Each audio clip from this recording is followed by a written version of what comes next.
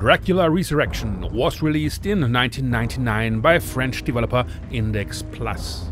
And from the first moment on, you feel that it is hugely inspired by the 1992 gothic horror movie Bram Stoker's Dracula. Characters, moments, music, even transition effects that are used mainly in the cutscenes remind very much of the movie's style.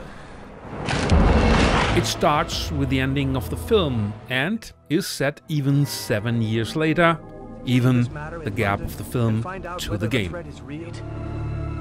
Jonathan. Here, Jonathan Harker has to find his fiancée, Mina, who was bitten by Count Dracula, to get her out of his grasp. Therefore, he has to find his way into the castle of the infamous creature.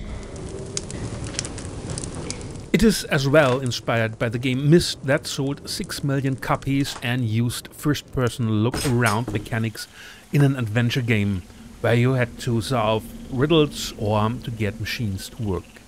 Here, the mechanics were integrated smoothly into the game and you really had a feeling of being inside the scene and some kind of realistic orientation feeling.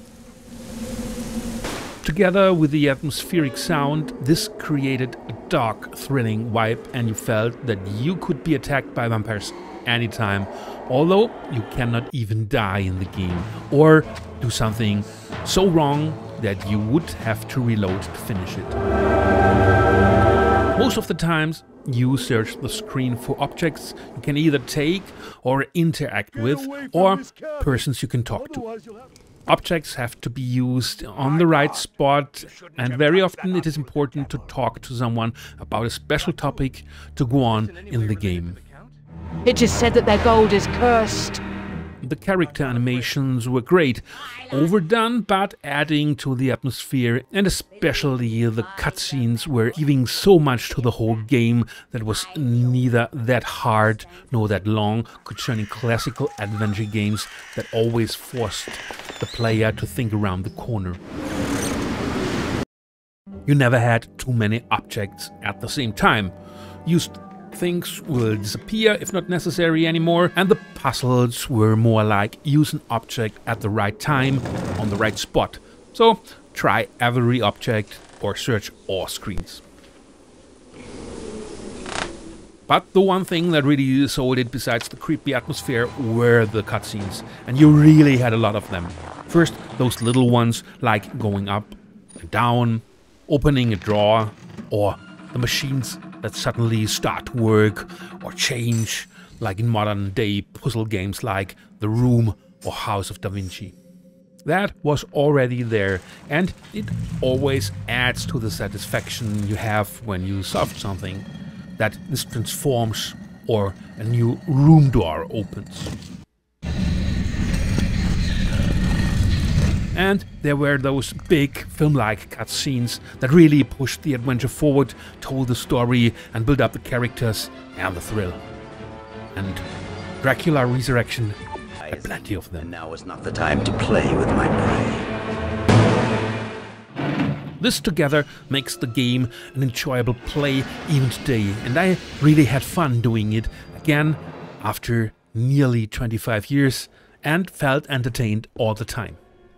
No wonder it was a huge success that sold over one and a half million copies together with Dracula 2, the sequel.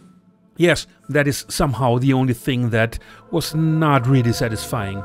That there was no definite ending.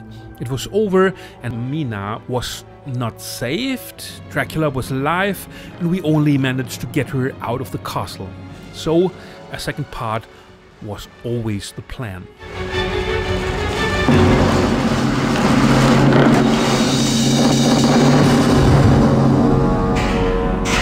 Maybe the limited time of development of only 8 months explains the rather short adventure game or why neither the ending was completely resolved or a lot of puzzles simply needed the use of a dragon simple ring chain that unlocked several doorways, passages or machines just like this would stand for a puzzle that was once meant to be implemented but finally left out for time issues.